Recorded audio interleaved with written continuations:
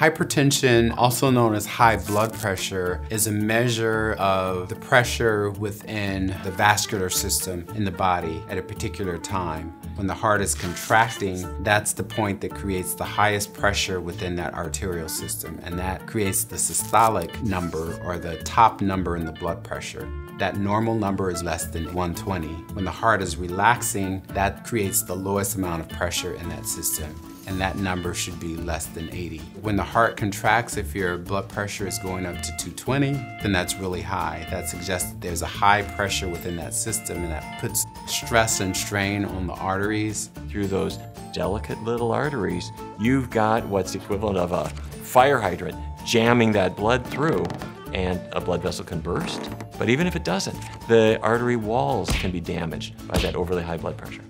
And in the body's attempt to heal that injury, it's kind of like putting a band-aid on there. Different collagen matrix and cells come together to kind of heal that injury. Think about it like piling one band-aid on top of another. They get bigger and bigger and bigger and they can burst.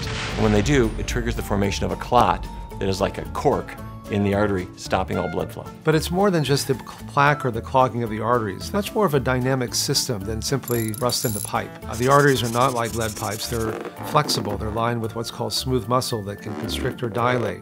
And so during times of emotional stress, for example, the arteries constrict. And that's part of what's called the fight or flight response. It's actually evolved to protect us so that if you're walking along in the jungle and the mythical saber-toothed tiger jumps out in front of you, you want your arteries to constrict. You want your blood pressure to go up. You want your eyes to dilate because these are things that can help you survive. So either you run faster away from the tiger, or you fight the tiger, or the tiger eats you. But one way or another, it's over fairly quickly. And if the tiger bites you, you want the arteries to constrict.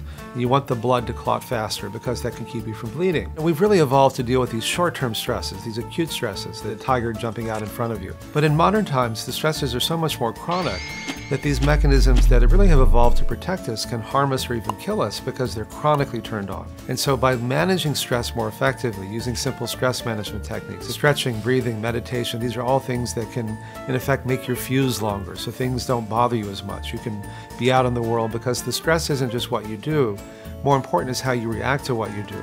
And likewise, a, a, diet that's high in animal protein and fat and cholesterol makes your blood clot faster. Let's say I eat the foods that I grew up with as a kid in Fargo, North Dakota. The meaty, dairy heavy diet increases my blood viscosity. Fatty foods make your blood too thick. That makes your blood pressure go up. While it may take decades for those blockages to build up, we've shown in the heart that you can actually reverse them. And instead of the arteries getting more and more clogged over time, they get less and less clogged. But the other mechanisms also improve. The arteries become more smooth, the arteries dilate so blood flow can go through more easily. Getting your cholesterol down, getting your blood pressure down, especially throwing away the cigarettes, getting your weight down with healthy eating habits, that has a huge impact on whether you would ever have a stroke. It, it can dramatically reduce the risk.